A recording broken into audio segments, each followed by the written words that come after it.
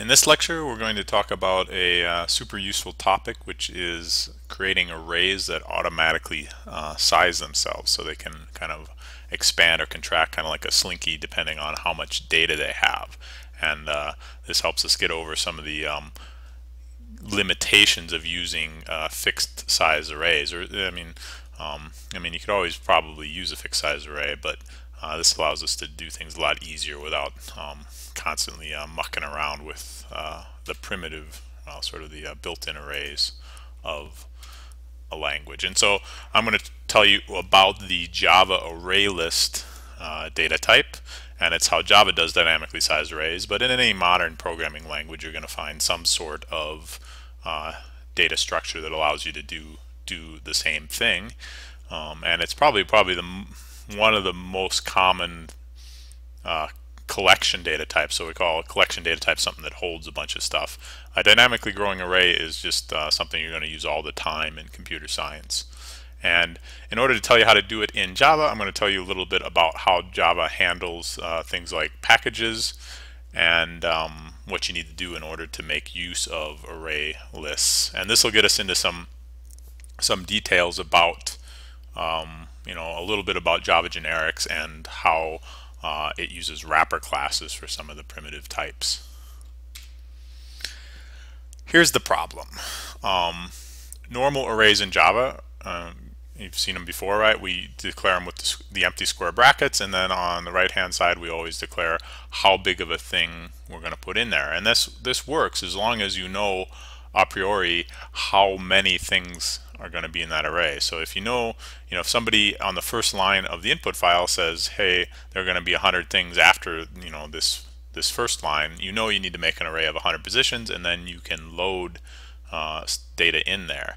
The trouble is if you don't know that beforehand, if you don't know beforehand there's going to be 100 items, you're just constantly being hit by items. You know, you're reading stuff in continuously from you know the user or something like that or maybe things are changing it's a, a game and and and uh, obstacles or enemies are coming in and out of the game so you want to add things to your array you want to remove things from your array um, and so on. And um, they're just not very flexible. I mean one option you know in a circumstance like this would be to just say well I don't know how many things are coming in from my input file so I'll make an array that's you know I don't know a million positions long. And that will you know usually work until you know someday somebody runs your program with a million and one uh, but it's pretty expensive though. I mean if normally they're only going to need a thousand things and you've declared an array that holds a million you're wasting a lot of time and memory to, to do that and um, it's it's quite inefficient. To use Java array lists we need to know a little bit about how Java does things all right? Um, there are a ton of useful things in the Java library, all kinds of different classes and uh, data types, and there's a million different things you can do with it. Um, because there's a million different things, you don't automatically um, get access to everything in the Java library. You only get access to the things that were deemed sort of the most important. So classes like string, system.out, these things you get automatically because the people that designed Java figured uh, everybody would want access to these data types.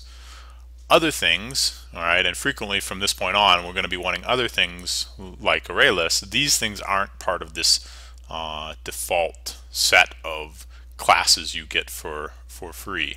And we need the array list, and and so how do we do that? Well, it's in something called a a package, and it's just a a package is a collection of classes that are under what's called a namespace.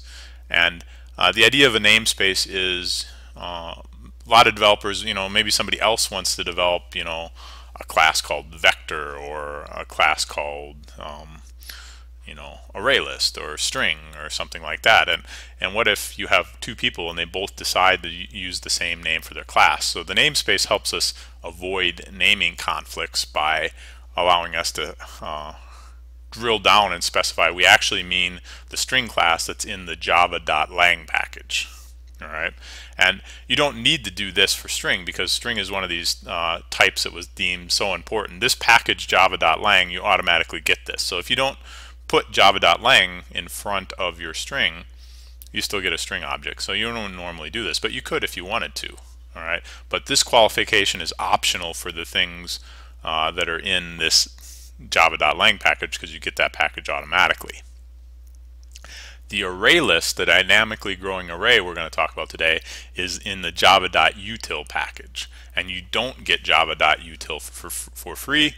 Um, if you just type array list, uh, Eclipse or your Java compiler is not going to know what you know, not going to know what you're talking about. All right, it's going to complain it can't find, you know, it doesn't know what array list is or what data type it is.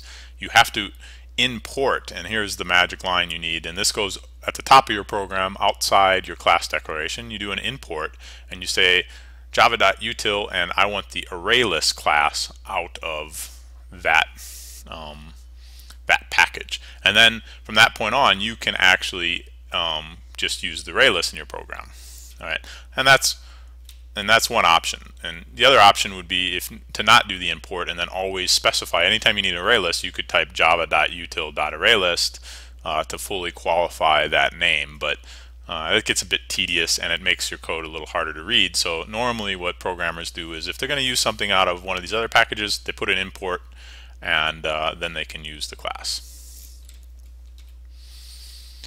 This is just one of the possible classes and you know if you look in uh, the Java docs online and search for something like uh, java.util you'll see there's a whole array of different classes including an array list. All right? All kinds of different things you can do in the java.util class and you can uh, sort of peruse that and see you know maybe there's other things you might want to use in the util class. Here's the problem we want to work on. We want to reverse we've got a, a, file and let's say the file contains all the 50 states and we want to reverse whatever's in that file. We don't know what's in the file. Okay maybe it's 50 states maybe it's 50 names or it's a thousand names. Who knows what's in the file but whatever's in the file we want to print it out in backwards order for some reason. Alright, and unlike other input files we've looked at in some of our uh, programming assignments, in this case, this input file states.txt, it doesn't come with a handy uh, number in the beginning that says there, there are 50 things after this. Alright, um, You don't know how many things are in there. And this is problematic because you can only read this stuff in from standard input once. All right, you get a read in Alabama and then Alaska. You can read these things in once and you could put them in an array, but you don't know how big of an array to make them. And you kind of need to store them off because, um, well, you don't, I mean, there, you know, perhaps other ways you could do it, but uh, it'd be handy to store them all off and then you can go through the array backwards and print them out. So that's the goal is we want to store them uh, persistently in our program and then then we can go through them in whatever order we want or whatever. So reverse is just kind of one kind of toy application of this. And let's look at this. Um, I'll do it. Let's open up Eclipse. So I'm going to make a program that reverses things. All right, using using this array list, and um, so its data type name is array list. All right, um, but importantly, we always need to tell array list, um, or we should anyway. We should always tell array list what kind of thing we're going to put in the array list, and what's a data type? And this is a new format we haven't seen before, these angle brackets. And this is something uh, you'll eventually learn more about called Java generics. Um, but what we have inside the angle brackets is another reference type. We're saying I need an array. So just like, you know, if we normally create an array, we have to, you know, um, we have to specify the type, right? You know, so there would be a normal array declaration. So we have to specify the type here. But when we do an array list, first we, we use the array list data type and then in angle brackets we put the name of the data type and now I can give it a name like lines and what it was going on the right side right hand side the exact same thing okay this is kind of like the data type it's it's not just array list it's array list angle bracket string is the data type it's the type of variable lines we it's an array list and it can only hold string objects and normally that's what we want because we want to only usually store one particular data type in, in an array list. And just like normal, we need these empty parentheses um, to construct an object. So we're constructing an object, and so we need arguments to the constructor, and there are other forms of array list. There are other ways uh, of constructing it, but the default constructor is usually uh, what we want. Now notice Eclipse is not particularly happy with me, and what's it complaining? Array list cannot be resolved to a type. And this is because it's missing that import statement. Alright, and what I need to do is to put at my top of my program import java.util.arraylist and then that problem goes away. You know, and as I said, you could do this if you wanted to, so don't put the import in there. Um, and you could put java.util in the front of that, and you could put java.util in the front of that, and you could do it that way, but um, you know, uh, it adds a lot of stuff. You'd have to do that everywhere in your program. So normally people do this, and this gets us only the ArrayList package out of util. Uh, you'll commonly see people also do, um, you know, you can use a wildcard here. So you can say, please get me all the classes out of the util class. All right. Um, and, you know, if you're going to use a lot of different util things, that might be okay, but be aware that you're getting everything in there then. And so you could, you know, potentially run into some naming conflicts. So it's, you know, perhaps safer to uh, just qualify exactly what you want. All right, we've got our array list now. We need to read in input from standard input. Okay. And so I'm going to loop while there's input from standard input. All right, while it's not empty, keep looping. All right. And what do I want to do? Well, I could do it in, you know, first I could read the next line. So I could create a local variable line, standard in, oops, read line. All right. Now I need to add it to the array list. Array list is an object, so lines dot will give me, you know, and Eclipse is going to give me lots of little helpful things, and it thinks there's, I guess, an 83% chance I want to add, and in fact that is what I want. I want to add this line to to that, and it's as simple as that. So unlike a normal array, we don't have to specify where. It's just going to add it to the end of the array. So this is going to be added at the, the first index position of this array list because there's nothing in it. And this will keep looping and keep adding to lines and that's it. it. We don't have to worry about how big to make it. It just adds until uh, you're done adding. And, and now, like I said, I wanted to reverse the lines in the file. And so what do I need to do? Well, I need to go backwards through the elements of that array list. And lines also has a method size. All right. And now be careful. So um, we can go backwards through the array list like this. Okay, but just like normal arrays, array lists are zero-based indexed. Lines.size is, you know, if I add five things, it's going to return five. But I don't want to go to index position 5 just like I wouldn't in a normal array because we have zero-based indexing. We want to start at lines.size minus 1 and that's the last element and then we go as long as it's greater than or equal to 0 and i minus minus. And now we just need to print things out.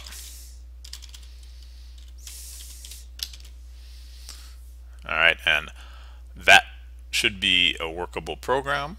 And let's uh, let me open up a window into the workspace here. Alright and did I have I don't have any example files so uh, let's put we'll just make a file called data in notepad. Okay and I don't know. Jumps over oh. Okay so it could be something like that all the states. And now I can run if I run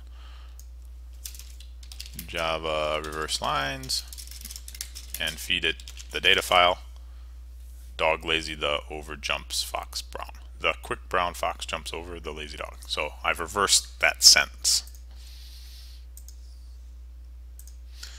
And here's the same thing, you know, you know, a little, you know, pretty much the same program without some curly braces and uh, some comments telling you the various things in the different methods do. So the most common methods you're going to use with ArrayList are things like add to add things, get to get things, and size to figure out how many things are in there. Those are the basic operations you do with a normal array, and they're the basic operations you do with an array list.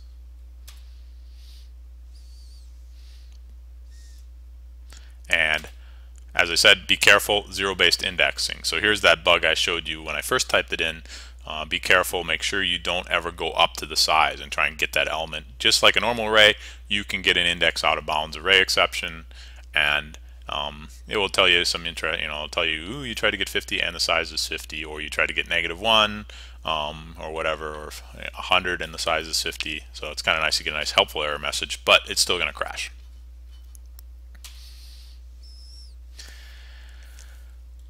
Let's do the same thing, but let's reverse some number file, some numbers, okay? And here are, here are some numbers or floating point values. And let's do the same thing. Okay.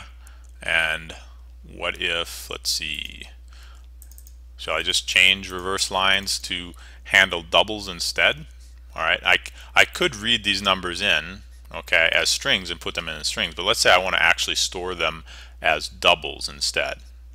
All right, and you might think it's as simple, so we want to store doubles in there, so we'll change that data type to doubles, and then we'll call read double in standard in.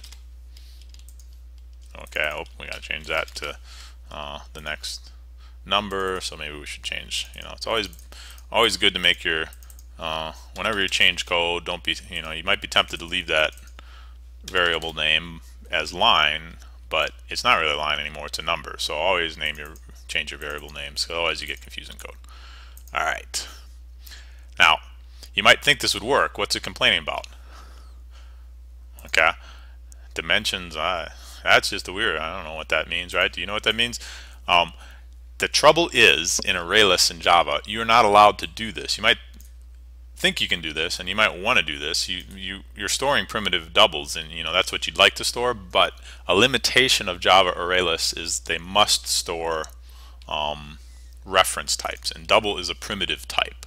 And it's pretty much as simple as changing to capital D double. All right, and what this does is tell Java you're going to use a, we're, we're using a, a floating point double value, but it's going to use its built-in wrapper class. So it's actually a reference type that's pretty simple and all it does is store a double value. And now I've got, uh, basically I've changed my reverse line, so really I should have put this in a, a new reverse nums, but I already have the uh, solution in that one, so I just did it this way. Um, we can make a nums.txt file, uh, and we can put various numbers in there. Okay, and now if we run reverse lines on nums, okay, it should have reversed the numbers in that file, and it did. All right. Now, I just undo all those changes. So now, eh, now we're back to the, oops, should we go back to the string solution? There, oops. Alright, so now it's back reverse lines, and so here's here's my solution for reverse nums, pretty much what I just showed you. Uh,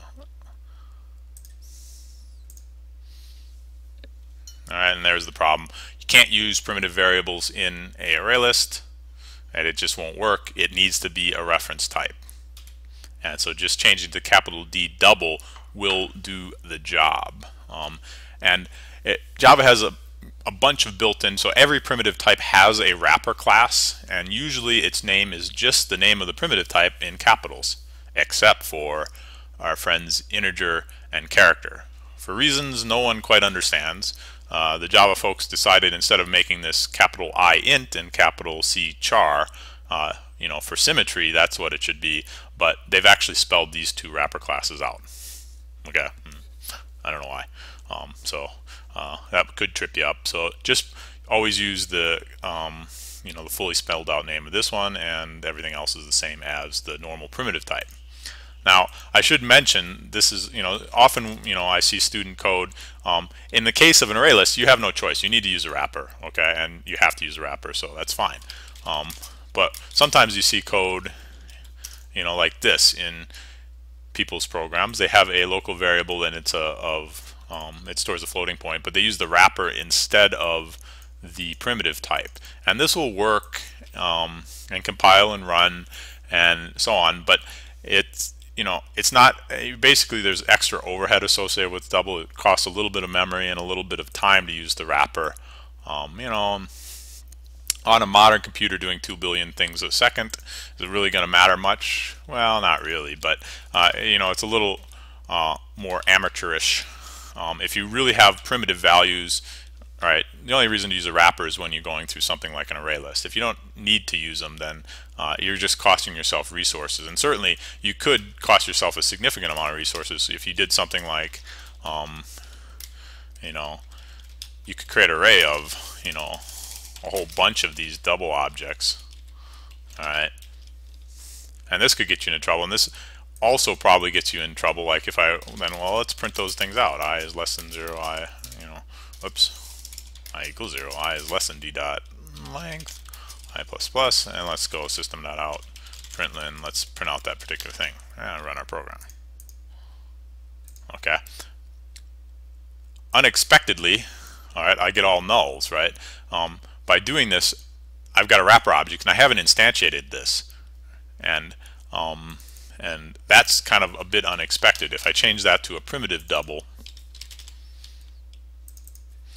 then I'm going to get automatic initialization. It's a primitive value, so it's not going to be null. It's actually going to be 0.0. You got to be careful with wrappers. If you use wrappers, you got to be sure you knew, you like any kind of reference object, you've got to create the memory for it. So don't forget to do that.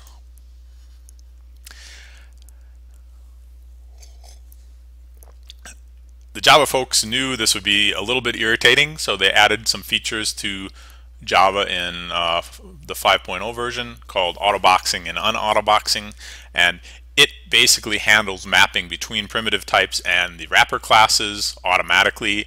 Uh, there are methods you can call to do you know do the conversion yourself but you know in circumstances like this like look we're adding you know even though we need to add a double reference object to this array list we're adding actually a primitive if you look at the signature of standard in dot read double it actually returns a primitive double. And so how are we putting a primitive double into, and the actual array list needs a reference double, a, a wrapper double. And Java, its auto boxing is automatically making that wrapper object for you, so you don't really have to think about it. And and that's that's pretty nice. Um, and you know, it goes vice versa, so you don't usually have to worry too much about it handy methods in the array list. So things you need to do, like I've shown you, you can add an object. That's a very common thing, and it appends it to the end. If you've got five things in the array list, if you add it, you're now going to have six things, and that last added item is going to be in the very last item. You can remove things by index, and what will happen if you remove it, you know, from the beginning, you move that very first element in the array, everything else is going to shift over. It's going to have to actually move everything over one element, or if you move, you know, remove something in the middle, it's going to shift everything that's after that. And once you're done with remove, your list will have decreased in size by one. You can also request removal of a specific object, and it will go ahead and look through it and try and find that item, and when it finds it, it will uh, delete it and another handy one is if you're using an array list and you decide, oh, I don't want anything else in here, I'm going to destroy all my, you know, asteroids or something in one foul swoop, you can call the clear method and that will remove everything in the array list. Those are some of the, the basic, um, these are some of the basic methods. And I should point out, like, whenever you want to know, like, more, you know, um, you can always search for it. So if you search for something like Java ArrayList in Google, all right, I should maybe zoom in a bit. Usually the first hits you'll get are be something on the Java platform and SE6, SE7, these are different versions. SE7 is you know the latest version, Java 7. And you can go through and it's good practice to learn to read these pages and um, try and figure out what various things do. But if you're looking, you have an ArrayList and you want to, well, can I do something? You know, I don't want to write my own method to do, you know, such and such. You can look through here and see, here's a list of methods and it has a bunch of different things you could ask it to do. Um, and you can click on some of these and um, see, well, oh, I can actually see, you know, if my array list contains, rather than loop over all my elements, I could just call the contains method. And what does that do? Well, returns true if the list contains a specified element. Okay, um, and so on. So it, it can save you a lot of effort if you learn to read these documentation. So you first see if there's something already built in and you can just use it. Uh, always good to reuse, uh, reuse somebody else's code. Here is a array list example where we're adding um, four people, Alice, Bob, Bob, and Carol. And then we remove the second one, so that removes Bob. Okay, removes one of the one of the Bobs, and then we remove Bob by name. All right, then we try and do, remove him again, but he's already gone, so nothing happens. All right, then we clear it all out, and then nothing, uh, nothing is left in there. All right. Um, and notice whenever you print the array list, it does provide you, you know, you get a nice, uh, nice representation in square brackets. You can see everything in there. And one thing to note is array lists can have duplicates. All right, it's okay to have two bobs. You might need that for you know whatever reason in your array list. Duplicates, you know, things with the same, you know, same underlying uh, value, same object um, representation, string representation may be in there. Let's try and remove things from an array. All right, we're going to add Alice, Bob, Bob, and Carol. We're going to print them out. Okay, then we get this. And our goal here is to remove all Bobs. We don't like Bob. We're going to remove all Bob instances from this array list. You might think you could pull this off by looping over all the names in the array list, getting the next one, seeing if it dot equals. So remember, we're always using dot equals with strings. So almost never ever compare strings with double equals. And we're doing it the right way here. We're using the dot equals method and we see does that thing at position 0, does it equal Bob? If so, remove it, and then loop the next one. Surprisingly, what you get out of this is an array that still contains a single Bob. And it's important to understand when you do a, rem a remove on an array list, it's removing and then reducing the list size by 1. And what effectively happens, we hit this first Bob. We're on this Bob here, and we call remove on index position 1, and it removes this Bob and then everybody shifts over. So now this Bob is in index position 1 and Carol's in position 2. But this i index variable in the for loop just carries its march, you know, march marching on and it actually ends up it was on 1, it's going to increment to 2. Well, now 2 is Carol and the other Bob is kind of slipped in to the position you just looked at. And you end up not deleting it. Here's a way if you need to do something like that, a handy trick for doing such a thing. If you want to loop through an array list deleting stuff, if you go backwards, it actually sorts this problem out because now when we delete, it deletes from, um, you know, we are on Carol, we don't delete Carol, we see Bob, and we actually delete Bob, and then Carol moves into Bob's position, but we already knew we didn't want to delete Carol, and so the next time I gets decremented, we go this way, and then we see this Bob, and we delete that Bob, and then Carol moves into that Bob's position, and then we move one to the left and check Alice and Alice isn't deleted and now we get the expected behavior. So that's just a little um, you know a little trick you might use if you're deleting stuff from an array list uh, in a loop like that. To summarize, we looked at a very handy uh, class in the Java Java library called ArrayList and it's like an array but it's more powerful because you don't have to decide beforehand how big it's going to be. You can remove stuff in the middle. It has a bunch of other useful methods you can look up like contains and it will just automatically grow. So as you add stuff um, it will occasionally make itself bigger to handle the extra data. And um, you know in the future you'll learn about how you know the sort of underlying mechanisms involved in something like an array list.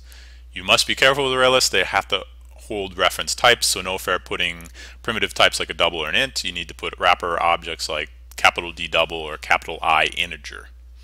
And as you add and remove in a loop, just be a little careful and understand when you do that. Whenever you add or remove, it's changing that size and potentially the index you're using in your for loop is, is no longer quite what you think it is.